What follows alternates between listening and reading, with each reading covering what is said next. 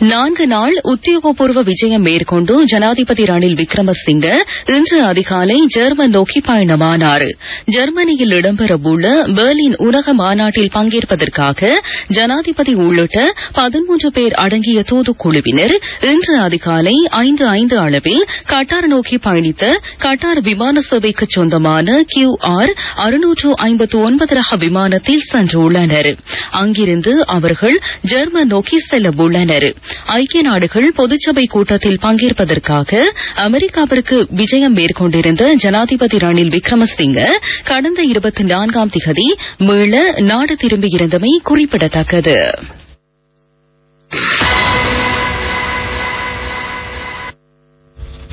கட்பிட்டி விமானப்படை பயிற்சி முகாமில் ஏற்பட்ட வெடிப்பு சம்பவத்தில் விமானப்படை உத்தியோகத்தர் ஒருவர் உயிரிழந்தார்.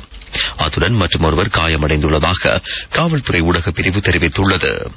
பயிற்சி நடவடிக்கையின் போது நேற்று பிற்பகல் இந்த அனர்த்தம் நேர்ந்துள்ளதாக தெரிவிக்கப்படுகின்றது. பொல்காவல பகுதியைச் சேர்ந்த இருபத்தெட்டு வயதுடைய ஒருவரை இவ்வாறு உயிரிழந்தார். அவர்கள் பயிற்சிக்காக பயன்படுத்திய வெடிப்பொருளே வெடிப்பு சம்பவத்திற்கு காரணமாக இருக்கலாம் என சந்தேகம் வெளியிடப்பட்டுள்ளதுடன் பாதுகாப்பு தரப்பினர் மேலதிக விசாரணைகளை முன்னெடுத்துள்ளனா்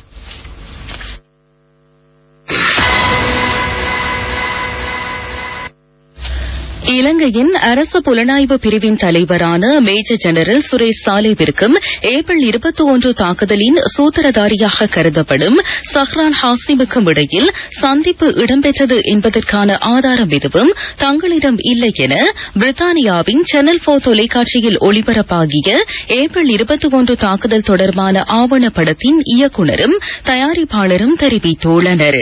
ஜெனீவாவில் நடைபெற்ற நிகழ்ச்சியொன்றில் கலந்து கொண்ட போதே அவர்கள் இதன் இதனை குறிப்பிட்டுள்ளனர். பேஸ்மெண்ட் பிலிம்ஸ் நிறுவனத்தின் தயாரிப்பாளர் பென்டி பியர் மற்றும் இயக்குநர் தோம் வோக்கர் ஆகியோர் ஏப்ரல் இருபத்தி ஒன்று தாக்குதல் பற்றிய ஆவணப்படத்தை உருவாக்கியுள்ளனர்.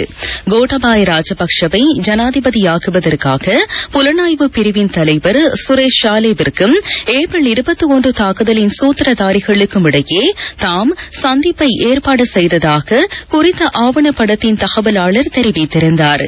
பிள்ளையான் எனப்படும் ராஜாங்க அமைச்சர் சிவனேசதுரை சந்திரகாந்தனின் ஊடக பேச்சாளராக பணியாற்றி தற்போது சுவிட்சர்லாந்தில் அரசியல் தஞ்சம் கோரியுள்ளவர் என கருதப்படும் அசாத் மௌலானா என்ற தகவலாளர் இந்த குற்றச்சாட்டுகளை முன்வைத்திருந்தாா் இந்த நிலையில் ஊடகவியலாளர் எழுப்பிய கேள்விக்கு பதிலளித்த தொம் வோக்கர் சஹ்ரான் ஹாசிமுடன் தகவலாளர் அசாத் மௌலானாவுக்கு நேரடி தொடர்பு இருந்ததா என்பது தமக்கு தெரியாது எனவும் சந்திப்பை ஒருங்கிணைப்பதில் அவர் எதற்காக இணைந்தார் என்பதற்கு தம்மால் தெளிவான பதிலை அளிக்க முடியாது எனவும் தெரிவித்துள்ளார்.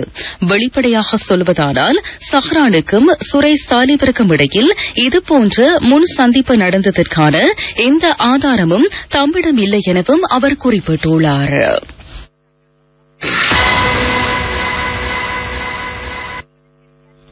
உள்நாட்டு இறைவரை திணைக்களம் உட்பட நாட்டுக்கு வரி வருமானத்தை ஈட்டும் நிறுவனங்களை கண்காணிப்பதற்கு விசேட பிரிவு ஒன்று ஸ்தாபிக்கப்பட வேண்டும் என தேசிய பொருளாதார மற்றும் பௌதிக திட்டங்கள் பற்றிய துறைசார் மேற்பார்வை குழுவின் தலைவர் நாடாளுமன்ற உறுப்பினர் மஹிந்தானந்த் அல்கமையை தெரிவித்துள்ளார். அரச வரி வருமானத்தை அதிகரிப்பதற்கு செயற்படாத அதிகாரிகள் தொடர்பில் அரசாங்கம் கடுமையான தீர்மானங்களை எடுக்க வேண்டும் எனவும் அவர் குறிப்பிட்டுள்ளார். ஜனாதிபதி ஊடக மையத்தில் நேற்று நடைபெற்ற ஊடக சந்திப்பில் வைத்து தேசிய பொருளாதாரம் மற்றும் பௌதிக திட்டங்கள் பற்றிய துறைசார் மேற்பார்வை குழுவின் தலைவர் மஹிந்தானந்த அன்கொமையே இந்த விடயத்தை கூறியுள்ளார். ஜனாதிபதி ரணில் விக்ரமசிங்க மற்றும் சர்வதேச நாணய நிதியத்தின் பிரதிநிதிகள் ஆகியோருக்கிடையே இடம்பெற்ற கலந்துரையாடல் மிகவும் வெற்றிகரமாக அமைந்தது. அரசாங்கம் மற்றும் சர்வதேச நாணய நிதியத்திற்கும் இடையிலான ஒப்பந்தத்தின் பிரகாரம் எடுக்கப்பட்ட தீர்மானங்களின் முன்னேற்றம் குறித்து நாட்டுக்கு அறிவிக்கப்படும். சர்வதேச நாணய நிதியம் பரிந்துரைத்த மூன்று முக்கிய விடயங்கள் உள்ளன. அதன்படி பணவீக்கத்தை ஒற்றை இலக்கத்திற்கு கொண்டு வருதல் அந்நிய செலாவணி கையிருப்பை அதிகரித்தல் அரச வரி வருமானத்தை அதிகரித்தல் அவசியமாகும். கடந்த காலங்களில் தொன்னூற்றி ஐந்து சதவீதமாக இருந்த உணவு பற்றாக்குறை தற்போது மறை ஐந்து சதவீதமாக குறைந்துள்ளது. பணவீக்கம் எழுபது சதவீதத்திலிருந்து இரண்டு தசம் ஆறு சதவீதமாகவும் இருபது மில்லியன் டாலர்களாக இருந்த அந்நிய செலாவணி கையிருப்பு நான்கு பில்லியன் டாலர்களாகவும் அதிகரித்துள்ளது. எனினும் சர்வதேச நாணய நிதியம் அரசு வருமானத்தை அதிகரிப்பதில் அதிக கவனம் செலுத்தியுள்ளது.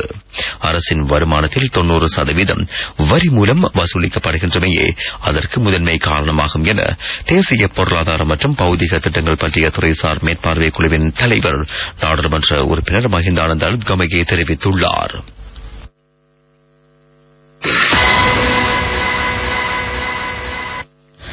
சட்டவிரோத மதுபானத்தை பாடசாலைக்கு கொண்டு சென்று தமது நண்பர்களுடன் பருகிய கலவான பகுதியில் உள்ள பாடசாலையொன்றின் ஒன்பதாம் தரத்தில் பயிலும் மாணவர் ஒருவர் நேற்றைய தினம் காவல்துறையினரால் கைது செய்யப்பட்டுள்ளார். தமது குடிநீர் போத்தலில் அவர் மதுபானத்தை பாடசாலைக்கு கொண்டு சென்றுள்ளதாக தெரிவிக்கப்படுகின்றது. குறித்த சிறுவனின் தாயார் வெளிநாட்டில் உள்ளதாகவும் தந்தை குடும்பத்தை விட்டு வெளியேறியுள்ளதாகவும் காவல்துறையினர் தெரிவித்துள்ளனர். அத்துடன் குறித்த சிறுவன் தமது தாயின் சகோதரியுடன் வாழ்ந்து வருகின்றமை விசாரணைகளில் தெரிய வந்துள்ளது. இந்த நிலையில் அவர் காவல்துறையின் எச்சரிக்கையுடன் விடுவிக்கப்பட்டுள்ளார்.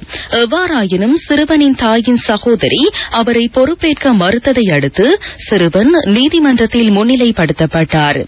இதனை அடுத்து சிறுவனின் மூத்த சகோதரர் அவரை பொறுப்பேற்றதாக காவல்துறையினர் தெரிவித்துள்ளனர்.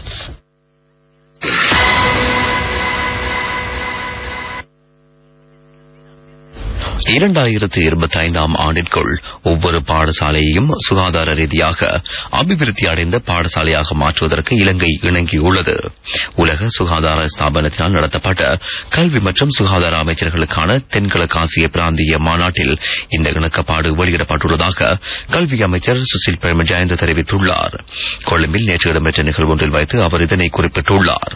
இதன்படி அக்டோபர் மாதத்தை பாடசாலை சுகாதார ஊக்குவிப்பு மாதமாக அறிவிப்பதற்கு தீர்மானிக்கப்பட்டுள்ளதாக அவர் குறிப்பிட்டுள்ளார். அடுத்த மாதம் இரண்டாம் தேதி முதல் முப்பத்தோராம் தேதி வரையில் சகல பாடசாலைகளிலும் வாராந்தம் ஒவ்வொரு துணைப்பொருளின் கீழ் திட்டங்கள் நடைமுறைப்படுத்தப்பட உள்ளன இந்த செய்தி உள்ளிட்ட மேலதிக விரிவான செய்திகளுக்கு W W W dot Sooriyan F M news dot L K என்ற எமது இணையதளத்திற்கு பிரவேசியுங்கள்.